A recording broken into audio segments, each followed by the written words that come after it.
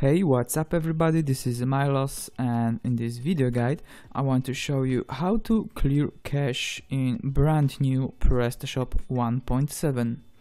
Well, sometimes if we don't see changes immediately, we have to clear cache in our shop.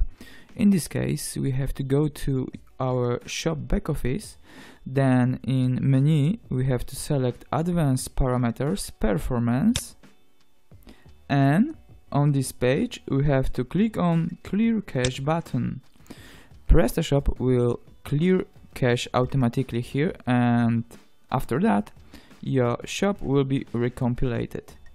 After refresh, you should see notification that PrestaShop successfully updated shop.